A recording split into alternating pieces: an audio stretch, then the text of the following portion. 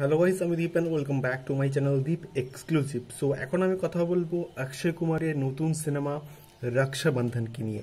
সত্যি বলতে আমরা কিন্তু প্রিভিয়াসলি দেখেছি যে অক্ষয় কুমারের বেশ কয়েকটা সিনেমা কিন্তু ফ্লপ হয়েছে। বিশেষ করে বচ্চন পান্ডে বলি বা পৃথ্বীরাজ চৌহান বলি, এগুলো কিন্তু পুরোপুরি ফ্লপ হয়েছে, একদম কিন্তু হিট হয়নি।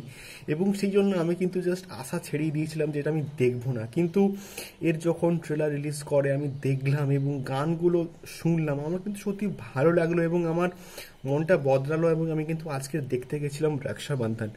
এবং সত্যি বলতে এই সিনেমাটা কিন্তু অ্যাটলিস্ট সবার দেখা উচিত এবং একটা দুর্দান্ত কিন্তু ফ্যামিলি ড্রামা এবং সবাই মানে বাড়ির সবাই মিলে এই সিনেমাটা কিন্তু দেখতে পারে, এইরকম কিন্তু একটা সিনেমা হয়েছে।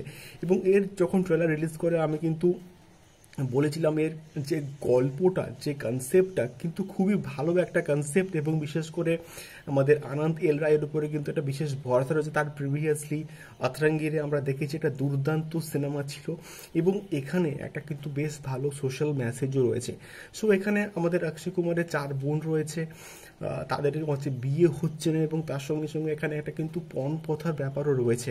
এবং তাদের সেই যে চার বোনের বিয়ে না হলে তার নিজের বিয়ে হচ্ছে না ভূমি পেডনেকারের সঙ্গে। এবং আলটিমেটলি কি তাদের চার বোনের বিয়ে হবে বা পরবর্তীকালে কি হবে এই সমস্ত কিছু কিন্তু জানতে গেলে তোমাদেরকে হলে গিয়ে রক্ষাবন্ধন সিনেমাটা অবশ্যই অবশ্যই দেখতে হবে। এখন এই সিনেমাটার পজিটিভ দিক কিন্তু প্রচুর রয়েছে। আমার কিন্তু খুবই কম দিক নেগেটিভ লেগেছে। এবং ফার্স্টেই বলব, এখানকার যে গল্পটা কিন্তু খুব ভালো। কনসেপ্টটা কিন্তু খুব ভালো এবং তার সঙ্গে সঙ্গে এখানে যে সোশ্যাল মেসেজটা দেওয়া হয়েছে, পণ প্রথাকে নিয়ে, সেটা এই মুহূর্তে দরকার ছিল। তার সঙ্গে সঙ্গে আমি বলব এর যে প্রতিটা গান আমার কিন্তু বেশ ভালো লেগেছে এবং হিমেশ রেসামিয়া রক্স মানে হিমেশ রেসামিয়া যখন মিউজিকগুলো দেয়, একটা অন্য রকমের আমরা কিন্তু ফ্লেভার পাই, আমার কিন্তু ভালো লেগেছে, প্রতিটা গান আমার কিন্তু ভালো লেগেছে এবং তার সঙ্গে সঙ্গে অক্ষয় কুমারের পারফরমেন্স দুর্দান্ত, ভূমি পেডনেকারকে দেখতে ভালো লাগছে এবং তো তাদের চার বোনকেও বেশ ভালো লাগছে দেখতে এবং চার বোনের পারফরমেন্সও কিন্তু ভালো লাগছে এবং এখানকার বিজিএমটাও খুব ভালো এবং আমার একদমই মনে হয়নি যে এটার স্ক্রিন যে স্ক্রিন প্লেটা খুবই স্লো এখানকার মানে একটা এনগেজিং স্ক্রিন প্লে এখানে কিন্তু রয়েছে। এবং সব মিলিয়ে আমি বলব এই সিনেমাটা কিন্তু প্রত্যেকের অ্যাটলিস্ট একবার হলেও দেখা উচিত।